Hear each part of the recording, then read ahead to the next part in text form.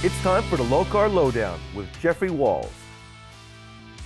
For you guys that just bolted on a new throttle body onto your hot rod or muscle car, check out our website at lokar.com to find all the different bracketry and cables that we make to make everything work. We make sure that the geometry that you need for your throttle cable, kickdown cable, cruise control cables gives you everything in a smooth operation. We offer in a handful of different styles, whether it's our newer vintage series looks or even our standard uh, high-tech braided stainless cables.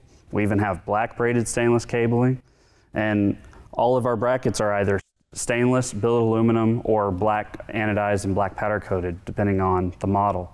We fit all the major manufacturers, whether it's Edelbrock, Holley, FiTech, whatever it may be. New models for fuel injection, older standard throttle bodies that you might have on your old hot rod. We've got it all.